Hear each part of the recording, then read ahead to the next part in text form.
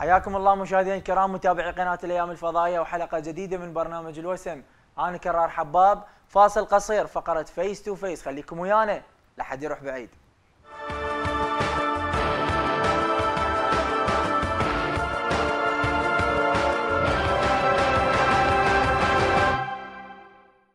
حياكم الله من جديد مشاهدينا الكرام. أهلا ومرحبا بكم في فقرة face to face حيث الأخبار والمواضيع والأحداث والترندات المحلية والعربية والعالمية اللي دائما ما تكون موجودة في برنامجنا برنامج الوسم.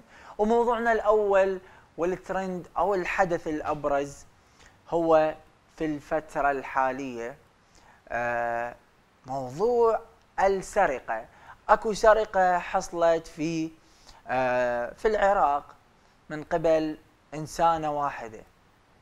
إنسانة واحدة اللي هي عاملة أثيوبية في آه، العراق. سرقت من كل المنازل اللي اشتغلت بيها. مبلغ ما يقارب نصف مليون دولار وهذا العدد من الهواتف المحمولة اللي وياه. مليون دو... إضافة إلى الذهب. مليون دو... نص مليون دولار وذهب وهذه المجموعة من الهواتف. هي بايقة هواي هواوي. شنو عبالك آيفون يعني؟ عبالك Pro؟ شو هواي هواوي بايقة؟ ما أدري. عاملة اثيوبيه تسرق نصف مليون دولار وهذا العدد من الهواتف إضافة إلى الذهب من كل المنازل اللي اشتغلت بيها. يعني اشتغلت من منزل باقته وراحت. ما حد بلغ عليها ما حد دقق وراها. راحت اشتغلت بمنزل جديد باقته وراحت وهم بلغ عمي تستاهلون البوقه هيك أقول لكم تستاهلون. معقولة ما حد يروح يبلغ عليها وما حد يروح يلقاها؟ زين كل العاملات تدخل من خلال شركة مختصة وموجودة كل بياناتها بال بال شو اسمه؟ هاي راحت من بالي حتى راحت من بالي مال اللي يدخلون بها الناس اللي من برا. زين كلها مسجلة وموجودة. ليش ما أحد راح لها وراقبها؟ وليش ما أحد دقق وراها؟ يا بيت تدخل آه، آه، عفوا الإقامة هو أنا اردت أقول الإقامة. موجود بياناتها بالإقامة؟ زين ليش ما حد راح دقق وراها؟ الشركة اللي مفوتتها يا شركة. غير المفروض أنت اليوم من انسرقت من قبل عامله اثيوبيه تروح تدقق وراها تروح تبحث تروح تشوفها وين ما وين. والله تستاهلون هاي المبالغ كلها. نصف مليون دولار. هاي ترجع لاثيوبيا تكمل بناء سد النهضة. والسيسي تعارك ويا ويا إثيوبيا. إضافة إلى الذهب اللي ظهر أمامكم بالصورة والتليفونات. هاي التليفونات. النوبيه هواي هواي سارقه هواوي هوا عبالها برو ماكو تشوف في ثلاث كاميرات عبالها آيفون. ما شاء الله عليك. أنت فعلا كنستي البيت كنس. فعلا أنت نظفت البيت. قشيتي قش. ما بقيتي شيء عاشتي حرفيا أنت أحسن منظفة. انت تنظفين الاخضر واليابس. باي قلت لك نص مليون دولار وما ادري كم غرام ذهب وهاي التليفونات كلها من يابيت الطبيلة. عمي شنو هاي؟ هاي فن هذا فن صار بالسرقة فن. خلينا نشوف الموضوع وتفاصيله وأيضا تعليقات الناس ماذا كانت في الفقرة الأولى. القبض على عامله إثيوبية في بغداد سرقت نحو نصف مليون دولار و37 هاتف من عدة منازل عملت بها. إضافة إلى هذا الذهب اللي ظاهر أمامكم بالصورة. عمي أنت أنت المفروض بعض السياسيين يتعلمون منك. أنت المفروض شو نسوي لك المفروض؟ شو نسوي لك؟ كل هذا بايكته النوب شوف يا سبحان إيش بايقة؟ شوف إيش بايقة التليفونات. أغلب التليفونات تليفونات مال مال النساء. هسه واحد راح يقول شلون تعرف التل... من الكفرات مالتهن؟ من الكفرات مالتهن مبينه تليفونات يعني أنت مشغلتها يمك بالبيت ومأمنتها على تليفونك. غير تراقبيها زين. شوفي. تل... هاي شوفي أي واحد تليفونه ضايع هاي الصور مالته. يعني شو ركزوا. هذا الأصفر هذا الأخضر أنواع التليفونات واغلبهم هواوي اغلبهم هواوي. زين هي خطية. عبالها عبالها عبالها Pro عبالها آيفون. زين ما شاء الله عليها. وباع الفلوس. نص مليون دولار. شلون حلوات؟ بشدات أخضر أمريكي. على قولة هذا أخضر بوي أخضر. لا تقول لي G glass glass مو class لا. لا تقول لي G glass ولا كاديلاك. كله هيك يحكي. لا تقول لي ذني. زين؟ توك توك هاك تفضل. أخضر أمريكي. دولار نصف مليون دولار. كل واحد باقت منه يستاهل. قبل لا تجيبها أنت شوف الشركة المسؤولة عليها راقبها. دي الله استحسن لك. روح شوف وين هذا وان شاء الله ترجع لكم فلوسكم. التعليقات. عمار يقول لين شعب يطرب على الغريب. بكل شيء. وهاي النتيجة لهم شغلين عراقية. طبعا أنا أتوقع عمار آه يعني عمار يشجع على العمالة الوطنية العمالة العراقية عمار. ناظم يقول جميع الدول تجلب المستثمرين والتجار لبلدهم إلا العراق يجلب السراق لشعبه. إلى متى نعيش بهذه الدوامه المخزية؟ أما المهندس ماريب ماهر أو المهندسة ماريب ماهر تقول هاي مشتغلة من كل قلبها. منظفة البيوت من كل شيء. أيوه قاشه تنقش. مشتغلة من كل قلبها هاي. القابلة أم أحمد تقول عندي اثنين أثق بيهن أكثر من نفسي. ترى واضح. اللي يسرق من شكله وأفعاله. ولازم كاميرات وأني مخلية 20 كام ليش 20 كاميرا أم أحمد؟ خويا ليش 20 كاميرا؟ إيش عندك 20 كاميرا؟ سيستم مال شوارع بغداد هذا 20 كاميرا. عمليات بغداد ما بيها 20 كاميرا. أه وبكل الغرف والممرات وحتى على السطح. حتى على السطح عاشتيدك بالسطح خاف واحد يصعد بالسطح يشر هدوم. أنت مخلي له كاميرا. آخر تعليق من دكتور علي يقول ب 2013 انباق مني تليفون. بلكي يطلع عدها يتدلل دكتور علي. تعال إن شاء الله وندور لك تليفونك إذا كان موجود يمها أو لا. هذا كان موضوعنا الأول في فقرة face to face اللي هو موضوع السرقة اللي حصلت في بغداد. طبعا تباعا يوم ورا يوم بيت ورا بيت منزل ورا منزل تروح تسرق هذه العاملة الأثيوبية باقت نصف مليون دولار وفوق ال 30 هاتف وعدد يعني من غرامات الذهب. موضوعنا الثاني مشاهدينا الكرام في هذه الحلقة الترند الشغل الشاغل كل الأوساط الرياضية الفنية السياسية الاجتماعية كل الناس خليجي 25 في البصرة. مثل ما عودتكم في كل حلقة أطلعكم على آخر المستجدات آخر الأخبار كل الأمور اللي تريد تعرفها كمشجع أو كإعلامي أو كمتفرج أو حتى كإنسان شخص قاعد بالبيت ويتفرج من خلال التلفزيون. خليجي 25 في البصرة. بعد مباراة الافتتاح الأولى في ملعب الميناء المباراة التجريبية. الافتتاح التجريبي ما بين الميناء العراقي والكويت الكويتي. صارت مشكلة كبيرة ألا وهي مشكلة الإنارة.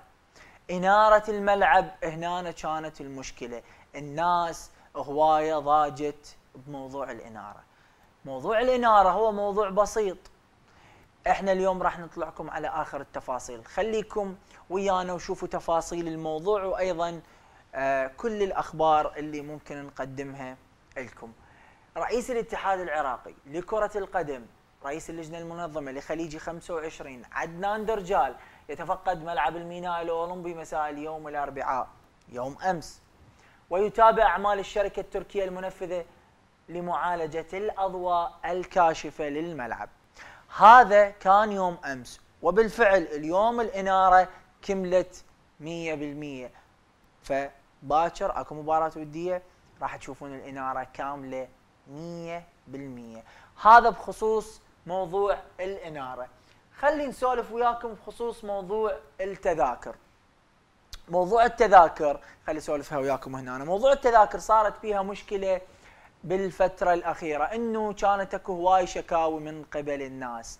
يابا إحنا قصينا تذاكر بس أكو مشكلة بالإيميل ما أعرف شنو.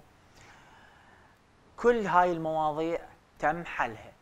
موضوع التذاكر اللي مشتري تذاكر وما واصل له الإيميل أو ما واصل له اسمه واللي دافع وما واصلت له التذكرة واللي مأخوذ منه أكثر واللي كل هاي الأمور تم حلها. من خلال ايميلات راح هسه أعرضها على حضراتكم وأريدكم تسجلوها وياي وتحفظوها الايميلات اللي موجودة عندنا في آه، الشاشة. هاي الايميلات أتمنى تركزون وياي ومخرجنا إن شاء الله يعطيكم إياها بصورة أقرب. هاي الايميلات تقدرون تدخلون على هاي الايميلات وش عندكم شكاوي وش عندكم استفسارات وش عندكم شغلات ممكن تحكوها طبعا الاتحاد العراقي هو اللي نشر هذا الموضوع. يدعو الاتحاد العراقي لكرة القدم الذين لديهم مشاكل أثناء عملية اقتناء التذاكر افتتاح خليجي 25 إلى تقديم الشكاوي على الإيميلين الآتيين هاي الإيميلات. أول إيميل آه خاف ما تشوفوه راح أرد لكم الإيميل. Y a h y a d l i 50 Gmail dot com أعتقد هي واضحة. الإيميل الثاني mhm.z4x7 Gmail dot com هاي الإيميلات اللي خاف عندكم شكاوي على موضوع التذاكر خاف عندكم هوايه من الأمور هاي هي قدامكم وتقدرون تطلعون عليها وتراسلون هاي الإيميلات. وش عندكم شكاوى مثل ما قلت؟ راح يتم حل كل هاي المواضيع من خلال هذا البريد الإلكتروني. هذا موضوع. أيضا عندنا موضوع آخر اللي هو موضوع التذاكر تذاكر البيع المباشر. عزيزي المشاهد مثل ما أكو تذاكر تقطع عبر الإيميل أو البريد الإلكتروني الكترونيا وأيضا أكو تذاكر تباع بشكل مباشر تذاكر ورقية. هسه واحد يقول لي أنا وين راح ألقى هاي التذاكر؟ هاي التذاكر وصلت إلى البصرة اليوم. وكان من المقرر بيعها اليوم في مول تايم سكوير ولكن تم تأجيل الموضوع بسبب الزخم الجماهير اللي صار. هاي التذاكر وصلت للبصرة. مثل ما قلت لك على أساس اليوم بس تأجل، تأجل إلى أي يوم؟ تأجل بيع التذاكر اللي هن بالغ عددهن على ما أعتقد 20000 لأنه انباعن 45000 ألكتروني وبقى 20000 ورقي. هاي التذاكر راح تنباع يوم الأحد. تنباع يوم الأحد هاي التذاكر آه، بنفس المنافذ اللي قلنا لكم عليها. ملعب البصرة، ملعب الميناء، مول تايم سكوير، مول شنشل، كورنيش العشار. هي وصلت كان من المقرر أن تنباع اليوم بس صار أكو زخم فتم تأجيل الموضوع وأيضا أكو جمهور ما يقدر يجي من هسه وينتظر لحد يوم 6 المباراة لا أكو جمهور يجي قبل يوم 6 بثلاث أيام بأربع أيام يجي للبصرة. فلذلك خلوا تذاكر يوم الأحد هو يوم مناسب للجميع. عشرين ألف تذكرة لمباراة الافتتاح وصلت للبصرة والبيع يوم الأحد. أيضا أكو آه، أخبار مهمة لازم تعرفوها. اليوم المنتخب خاض آخر وحدة تدريبية آخر مران قبل مباراة الكويت الودية اللي راح تكون باكر يوم الجمعة الساعة 3 وراح نحكي على تفاصيل المباراة. المنتخب خاض آه، تمرين اليوم ب 24 آه، لاعب. تمرنوا بالمدينة الرياضية ولكن أكو أخبار لازم أيضا نوضحها لكم. الخبر الأول. شيركو كريم لاعب المنتخب الوطني ومحترف نادي الكويت الكويتي. ما راح يشترك بالمباراة الودية يوم غد الجمعة بسبب شعوره بآلام بسيطة. انصاب في مباراة الودية ما بين الميناء والكويت. هذا الخبر الأول أو آه، يعني الخبر الأول يعتبر. الخبر الثاني هو أحمد ياسين. أحمد ياسين المحترف العراقي بالسويد. أحمد ياسين خاض آخر مران له قبل السفر والتوجه إلى السعودية. أحمد ياسين راح يغيب عن بطولة خليجي 25 بالبصرة بسبب إنه إجاء عقد احترافي من أحد الأندية السعودية. فأحمد ياسين بالتالي راح يغيب عن بطولة خليجي 25 هاي الأخبار اللي ممكن نرفدكم بيها. طبعا بديل أحمد ياسين هو من البداية سافر ويا المنتخب. هو كان أحمد فرحان هو يشغل هذا المركز أيضا فنطمئن الجماهير إنه ماكو قلق ماكو خوف. أكو موجود أحمد فرحان لاعب نادي الشرطة أيضا هو لاعب قوي ومهم جدا ولاعب المنتخب الوطني في بطولة العرب. راح آه، يعوض المنتخب الوطني. فعندنا هاي الأخبار شيركو ما راح يشترك في المباراة الودية. يوم غد مع الكويت وأحمد ياسين ما راح يشترك بالبطولة من الأساس. هذه تفاصيل مباراة يوم غد الجمعة. تفاصيل مباراة آه العراق والكويت الودية. مباراة ودية دولية. ساعة ثلاثة على ملعب الميناء الأولمبي. باكر الجمعة. ما بين العراق والكويت. المنتخب الكويتي وصل اليوم إلى البصرة. وخاض وحدة تدريبية استشفائية وأيضا راح يتمرن باكر قبل المباراة. هذه المباراة في ملعب الميناء الأولمبو. أيضا راح تكون احتفالية مبسطة أيضا للمباراة والتذاكر راح تنباع بالقرب من الملعب. تذاكر هذه المباراة. وأكو فعاليات كثيرة أيضا راح تقوم بها الشركة المختصة بهاي المباراة. مو الشركة الإسبانية المختصة بالافتتاح لا. الشركة المختصة بهذه المباراة. هاي تفاصيل المباراة. هاي كل الأخبار اللي ممكن نمدكم بيها وشكو أخبار أخرى شكو مواضيع أخرى ممكن أيضا آه تجي أثناء الحديث. التعليقات. يقول علي اشتريت تذاكر مباراة الافتتاح وإلى الآن التذاكر لم تصل.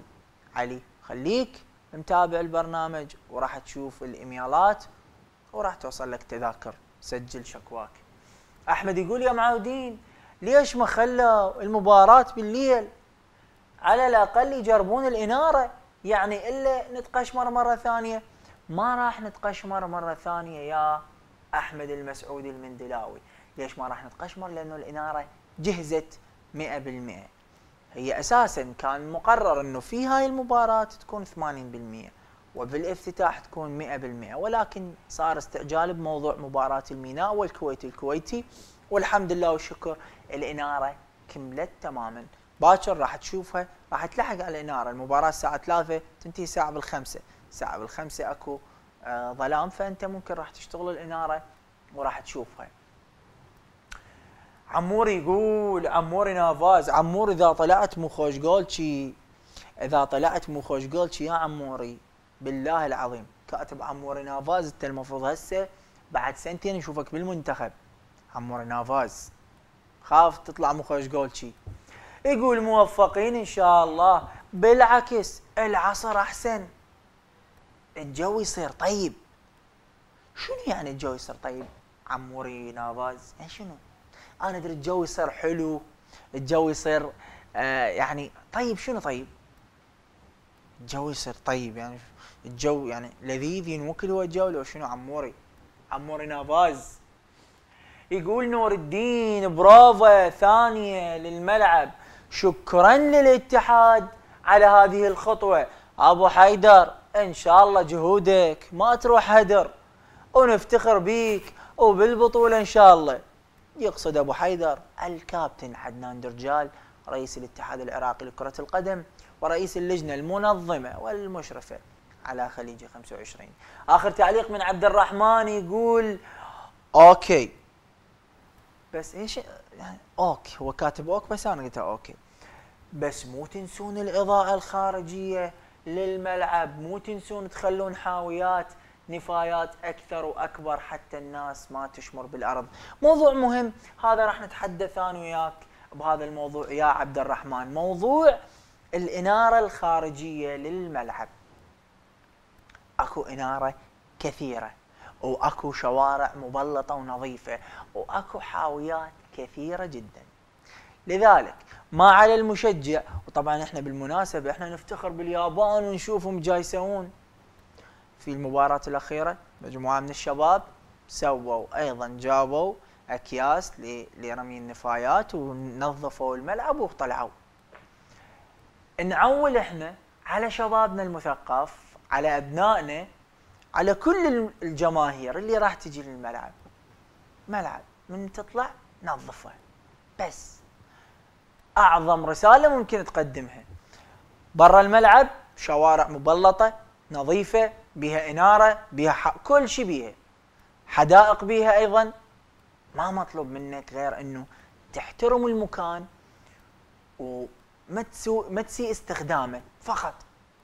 هذا اللي مطلوب منك. تجي معزز مكرم تشجع منتخبك. بالمناسبة المنتخب يلعب بين أرضه وبين جمهوره. وإحنا نفتخر بهذا الشيء دائما. نقول المنتخب العراقي جمهوره. فيا جمهورنا شاء الله تكونون النقطة أو العلامة المضيئة في البطولة مع الافتتاح والختام اللي راح يكون مبهر تماما. مشاهدينا الكرام وصلنا إلى ختام حلقتنا لهذا اليوم من برنامج الوسم. حتى ألتقيكم في الحلقة القادمة أقول لكم في مال الله.